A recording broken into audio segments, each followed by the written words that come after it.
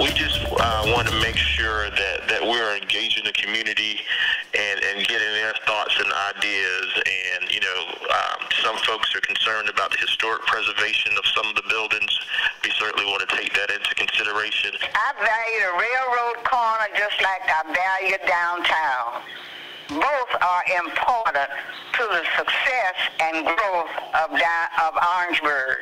The city of Orangeburg wants to hear from its residents on the future redevelopment of Railroad Corner. City leaders have created an online survey and are hosting series of virtual input sessions to see what people want to be done to the area. Local historian Barbara Williams Jenkins says Railroad Corner was once the hub of African American owned businesses for more than 100 years. You want to sell your history, you want to sell your you want to sell your story. The businesses will be new that you bring. A new building does not necessarily bring money. Williams Jenkins is a member of the South Carolina African American Heritage Committee. She says Railroad Corner had several businesses that were prime meetup spots for African Americans in the late 40s to the 60s. Williams Jenkins says the city should be looking to preserve those old buildings instead of trying to tear them down because it would erase Orangeburg's history. Well, for a town, that's that represents almost a century of our history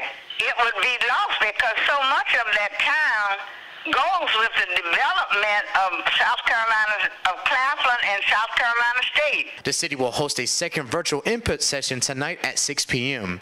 In addition, you can still take a survey and leave your comments. You can find that information on our website at WLTX.com. For Street Squad Orangeburg, I'm Devin Johnson. Two Midlands land